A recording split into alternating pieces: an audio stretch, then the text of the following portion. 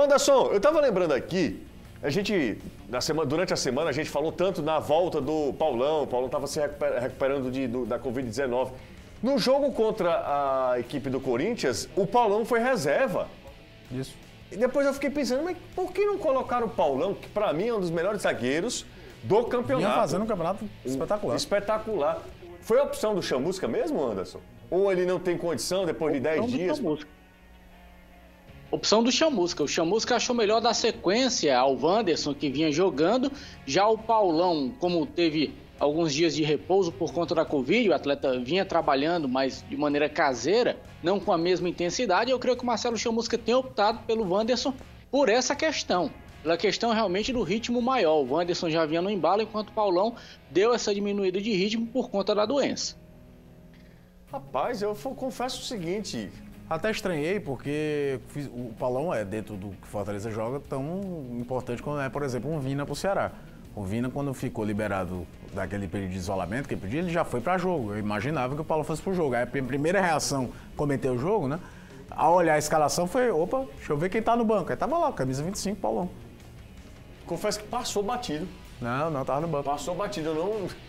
Sinceramente, porque pra, pra mim, o Paulo recuperado vai pro jogo. Só se ele tivesse algum. Embora problema. tenha que ser dito que o Wanderson no jogo desse não, não final de semana é, não comprometeu. Não comprometeu, não. Mas, o jogo contra o Goiás foi muito mal, mas é, nesse jogo tecnicamente, não comprometeu, não. Mas não, não, e liderança, referência. É. é. É, muito que a gente fala, às vezes, sobre o Luiz Otávio no Ceará. Às vezes o Paulo é aquele jogador que às vezes nem joga tão bem, mas ele criou um, um respaldo tão grande que ele é uma referência de liderança técnica dentro do time. Bom, o João Paulo é, falou com a gente, o João Paulo que é, foi ontem o selecionado, o escolhido para dar entrevista coletiva, ele falou na, na ideia dele, na, na, explicação dele, o que é que faltou para o Fortaleza conseguir melhores resultados nas duas últimas rodadas que foram disputadas em casa. E o Fortaleza de seis pontos conseguiu apenas dois. A gente está tá criando bastante situações de, de, de gol. É, está faltando a gente caprichar mais para a bola entrar. É, creio que que é só com trabalho que, que isso vai acontecer e a gente está trabalhando forte para poder, nos próximos jogos, é, conseguir criar e conseguir fazer os gols. É, isso, é, isso é bastante importante.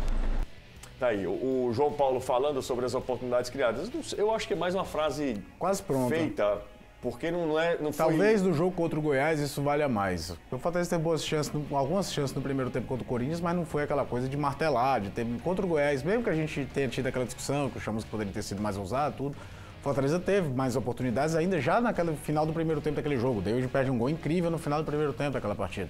Para esse jogo do Corinthians eu já acho que isso não vale tanto, vira uma espécie de frase feita para terminar. O Caio, é, eu estava também observando que os o cara técnico tem os seus preferidos, né? E quem vai perdendo espaço, pelo menos nesse primeiro momento, é o volante Ronald, né? Sim. O, o volante Ronald, que era ou era titulado com o Rogério Senna, ou era sempre uma primeira opção para várias posições ali. É, ele chegou para jogar perdendo... de volante, ele começou a ganhar espaço. Jogou, ele só não jogou dentro do meio de campo do Fortaleza de meia central. Ele jogou do lado esquerdo, ele jogou do lado direito, jogou como volante na posição original dele e realmente meio que sumiu um pouquinho talvez volte ao radar com essa situação com o Tom Marlon, que era um jogador que, principalmente para jogar do lado direito, fazia essa composição. E aí, sem o Marlon, a opção pode ser ele em jogos de mais dificuldade técnica, enfim. Porque o Chamusca não, não, fez, por exemplo, ainda não teve a, a opção de ter Ting e Gabriel Dias ao mesmo tempo, que o Rogério fazia algumas vezes. E eu sei que é duro ficar falando o que o Rogério fazia, mas quer queira ou não, é um referencial de um trabalho de mais de dois anos.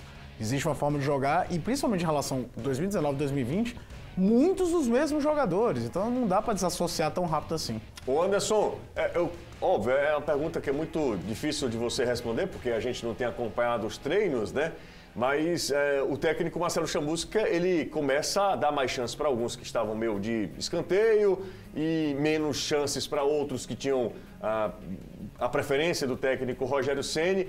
E durante esse tempo de 10 dias que a gente vai ter, e agora jogando semanalmente, o Chamusca ele deve imprimir o jeito Chamusca, embora ele já tenha falado, eu acho que é corretíssimo, ele não quebrar uma herança claro, deixada pelo técnico claro. Rogério Ceni, né, Azevedo?